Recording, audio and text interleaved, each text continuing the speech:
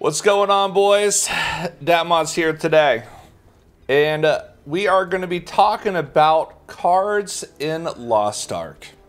You probably started obtaining these early on through your story, and you're wondering what the heck they are. Uh, this is like what the little booklets are. You know, they they'll look like that, or you'll just get like an individual card. And then there's also these experience things. Okay, so where do you get your cards from? They basically drop from almost everything in the game. Abyssal Dungeons, Adventure Islands, Achievements, Cooperative Sea Mission, Guardian Raids. You can buy them from Mari's Shop. There's like rapport stuff. There's Traveling Merchants. There's Story Quests. And there's also uh, Merchants on a weekly reset where you can buy cards. Uh, weekly reset Merchants for cards. It's like uh, pay two right? It's on floor three and it's called Luck Card, right? So floor three, Peyto, you go over there. You buy like seven cards a week from this merchant. Uh, and it could range all the way up into legendary, right? It costs 2,000 pirate coins each. And then you can also get uh, some more cards on this island over here, right? It's called the Cradle of the Sea Fermata. You click on it and you can go up to floor three. And same exact thing. There's a luck guy. You can buy seven more cards there for 2,000 gold to pop, right? So basically 28,000 uh, 20,000 power coins. I think I said gold. 20,000 power coins a week to get a bunch of free cards. Anyways, uh, the card system in Lost Ark is not, it, it's something that's going to be, uh, that you're going to build up over a period of time, right? It's an investment thing. You will constantly be doing this and you'll constantly be trying to get more power. Uh, so anyways, why are you using cards? Well, cards provide different effects for your character, right? So you open up a little card window. Uh, these are your different cards, right? And if you hover over the see effect details, it'll tell you the little bonuses. Um, and you're wondering like what card sets are good. Well, it all depends on the class you're playing, but uh, usually one of the best starter card decks for almost every class is the Lostwind Cliff. Uh, it gives you like some dark damage reduction. It also gives you critical strike chance if you get awakening stuff. Um, so like, yeah, this is basically a little card window. This goes about your books, right? And then later on, way, way later on in the game, I wouldn't even worry about right now, you'll you'll be stacking demon damage. This is like your little card stuff, right?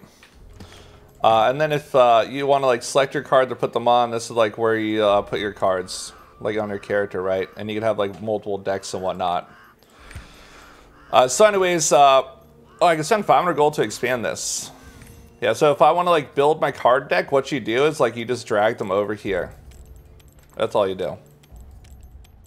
Right, I'm missing like one card. I'm still trying to get Carmine. If you're ever wondering where you get any card in the game, you just go to this little codex. Right? And you just type it in the codex and it'll tell you their location. So you know how I said do Abyss Dungeons. Carmine comes from Abyss Dungeons and from this achievement over here. So that is how you get your cards. Uh, so anyway, this is your card catalog. This is basically where your cards are. And then like you, this is how you kind of like assemble your decks, right? If you want to assemble your deck, you just drag them over here real quickly. And click save. And then if you want to like put that new card deck on, you just like go over to your character, right? And you could like equip that one or that one or that one, right? So those are your presets for your cards. Um, and like I said, like uh, pretty much if you're following like a guide, usually the guide will tell you like what card to use. But now the important stuff about the cards. So you have this little thing, this is your enhanced tab. This is also where your cards are stored. If you're playing the game and you don't know too much about cards, you might try to learn your card. They might say your card deck is full.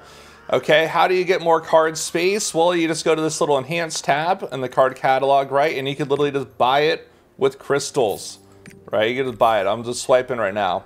And this will increase your storage capacity. If you don't have crystals, how can you get more crystal? You can earn gold in a bunch of different ways. And then you can go to your store, right? And then you can do currency conversion. And it's, the, these rates will be different for everybody. But basically, you can exchange gold for crystals and this will allow you to buy storage space without paying any real life money at all. Uh, or you could just spend real life money and then you do crystal transfer to buy those. Okay.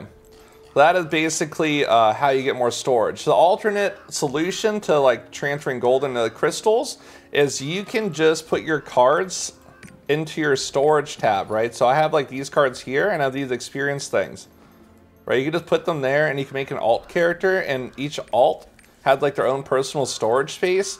So you put it into your roster storage and then you go on your alt and then you can store your cards on your alt's storage, personal storage right? And that could save a bunch of, uh, save you some money, some gold, or crystals. They're the solution for free-to-play players. Uh, next thing, enhancing. So if you notice uh, at the bottom here, like each card has like a little notch. Then also, um, right? They have a little notch, and then also some of the cards have this little symbol. And you're like, what the heck is this symbol? Anyways, if you go into your card right? You notice I have plus one. This is like your base card. If you juice this up, it's almost like gear honing. And you don't want to do this for every card because your resources are limited. So you just don't want to level up every single card or enhance it, awaken it. So if you put the experience in there and you have some shilling costs, here's your card experience at the top over here. Right, and how do you get card experience? You get these little creation fragments. You can learn all these at once, because if you'll notice, you literally have almost 1 billion experience storage. I've never seen anyone that's overcapped on card experience. Um, this might be like a challenge to somebody, but you could basically learn all these experience cards and it'll store your experience for leveling your cards. Uh, literally, don't be afraid to learn those books, right? And there's like different tiers of the books, and you get the card experience from the activities that we talked about earlier in the video. So there is like your experience right. Uh, so anyways, uh, let's say uh, I want to enhance something now. So we're, we, are just going to enhance this, right? So uh, it costs a certain amount of experience and costs some shillings. We, there's our stored uh, card enhancement points over there. We're just going to enhance this. Right now our card can be awakened. What does Awakening do? Awakening gives your cards that you're using enhanced bonuses. So we can awaken this and it'll go to awaken level 1. Now it has one notch filled.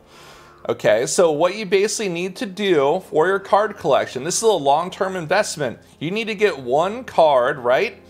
And then you need to get 15 more cards. So it's not just five cards. Because every single time you awaken your card, right, this takes one additional card, this takes two additional cards, this takes three additional cards, this takes four additional cards, and this takes five additional cards. So you need your base card and you need 15 duplicates of that card. So 16 total cards to fully awaken your cards, and the experience is pretty full, right? So this is pretty much what you're gonna do. Like I said, you don't want to just awaken every card. Be strategic about it because you have limited resources, right? I have a lot of duplicates for a lot of stuff, but I'm not using it. Why did I use it on a lane? I kind of just wanted to show you guys how to do it. Uh, so anyways, pretty much what I'm focusing on right now is my Lost Winds Cliff set, right? So uh, you know, I, I'm still missing Carmine. I have to get Carmine. And then I'm trying to awaken uh, my cards to level 12 so I get the 7% increased crit strike bonus. But currently we got like two, right? And then we got one, and then we got one. And we talked about uh, in the beginning traveling merchants. Uh, and I actually have a traveling merchant right here. So like this card deck is nice because this card specifically, you could acquire this multiple times a day. That's called the Soraya card, right? You could just go to this guy, this little traveling merchant, you pay some shillings and you get the card. Uh, there's like discords and stuff, and there's people in game that communicate, but it'll spawn, basically this traveling merchant spawns on a timer in East Luterra somewhere. So uh, you can acquire these cards uh, pretty easily. Uh, we also got like some more like decks, so I'm just gonna open it up. Let's see if we get lucky. Uh, there is weighting for every card, so getting legendary cards is like pretty rare.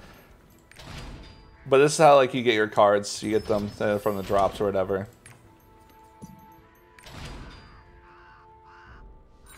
We're just gonna open these up.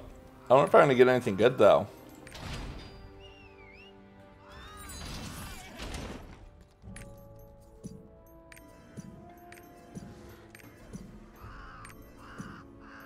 This? I got a Thunder Wings. I already have all these, right? I'm just getting duplicates right now. So anyway, that's basically the card system in a nutshell. Um, it's pretty simplistic. It's uh, one of your long-term goals in the game, so don't rush it. Uh, just be careful at how you spend your card experience. Um, yeah, and that's pretty much it. Anyways, uh, thanks for watching, and good luck to everybody. Bye.